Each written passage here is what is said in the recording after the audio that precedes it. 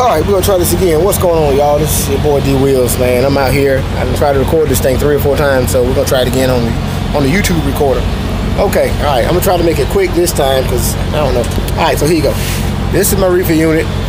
Uh, there's nothing wrong with it. I'm just showing you guys a few things. The ones of y'all that's new to the business uh, who may just want to know a little something about it. Okay, this is a Thermo King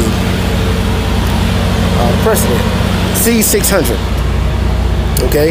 It has the ability to go electric mode hence the uh, generator or regular diesel mode okay? I'm gonna start from the top this time okay? Start from the top. I'm gonna go ahead and open this up right quick okay?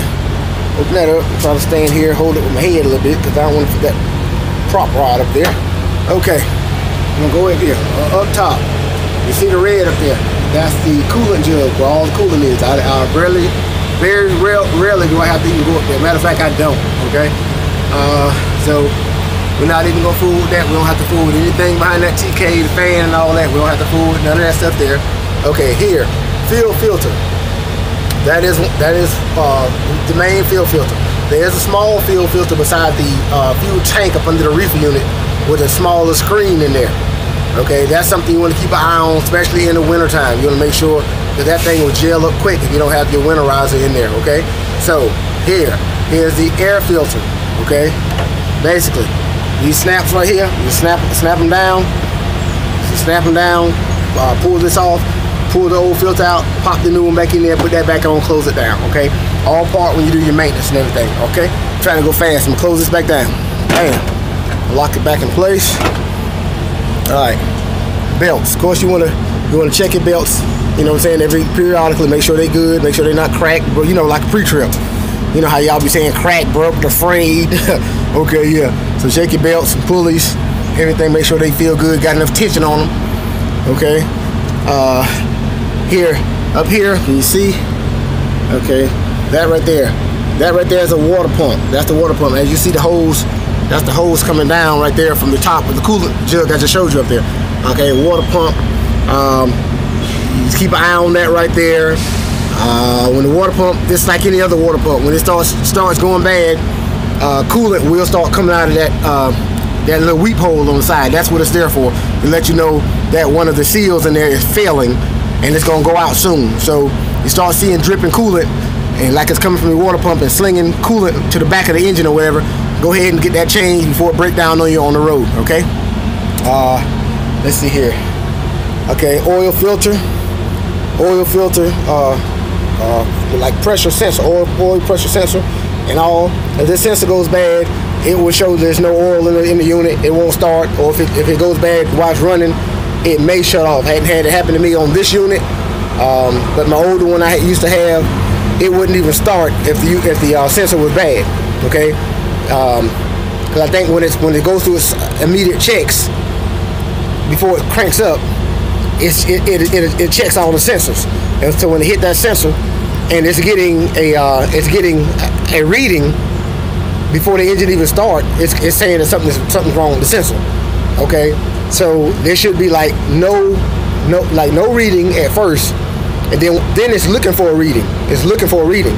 So sometimes you can bypass that as long as you know everything else is working. If your sensor if your sensor goes bad on the road and it won't crank, especially on the older one, uh, you can unplug it and as soon as it crank up, plug it back in because it's going to be looking for that um, that that continuous loop, which is going to give you because the sensor is bad.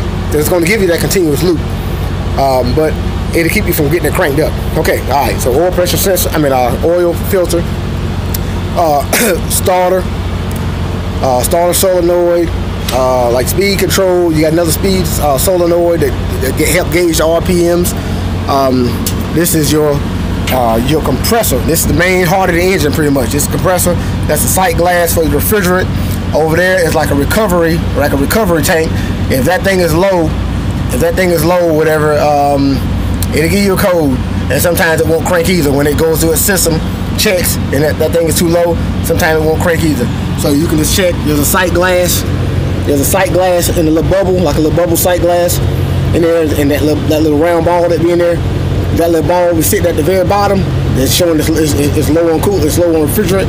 and uh, that that could be a problem. You can't fix it yourself. You got to take it in, and let them uh, charge your system back up. Okay, it normally shouldn't be going out unless you got a leak somewhere, but that's just what it is. Okay, alternator, alternator. Here's the alternator. We're up under. Here's the alternator. Remember, remember, I had to change that. I don't know if y'all saw the video or not. I didn't get into detail because it was too hard for me to do it and hold the phone. Okay, so that's the alternator. In order to change the alternator out, you have to remove the whole plastic panel on the bottom of the unit, about 10 screws. You have to move those and you get access to the bottom. Uh, keep notice of where your wires go. There's not too many of them. A couple of them that bolt on and one that plugs in. Uh, the other thing is, uh, there's also a uh, pulley. If I'm pointing to it, but you really can't see it. It's a, you may be able to see it. It's a pulley back there. It's an Allen head screw. It's an Allen head screw that has to be loosened up right in the center of that pulley. And you got to use Allen wrenches like this. Okay, you got to use the ones like this here to being being able to get in there and turn that screw. You can't use, as you see, you couldn't use it if they was long like this. You couldn't use it.